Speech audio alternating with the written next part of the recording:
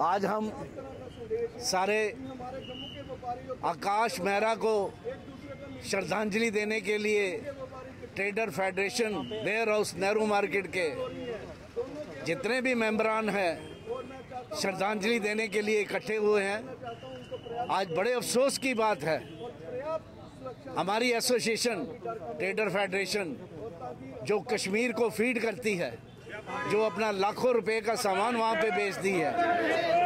आज हमारी जान और माल की हिफाजत करने के लिए कोई नहीं है।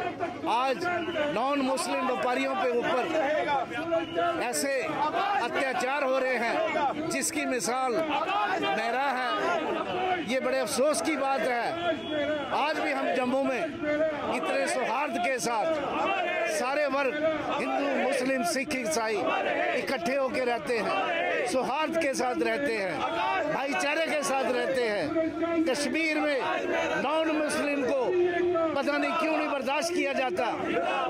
जबकि हम यहाँ पे इतने प्यार मोहब्बत से सभी रहते हैं। आपके चैनल के माध्यम से ये सभी से अपील है भी ऐसे अत्याचार को बंद करो।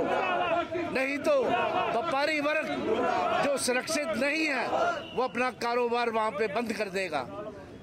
इसलिए इस चैनल के माध्यम से हम सरकार को ये संदेश देना चाहते हैं कि हम व्यापारी सारे इकट्ठे हैं और इकट्ठे रहेंगे। और कल को अगर ऐसी कोई वारदात हुई, उसकी जिम्मेवारी जो है, वो सरकार की होगी, ना कि व्यापारियों की होगी। व्यापारी वर्ग कभी भी लड़ाई झगड़े में नहीं पड़ता, बल्कि बड़ी समानता के साथ रहता है।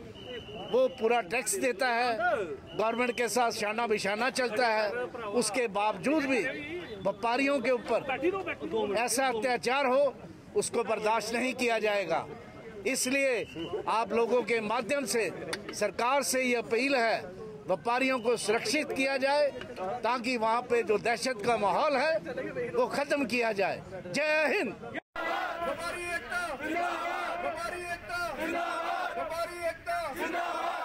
एकता।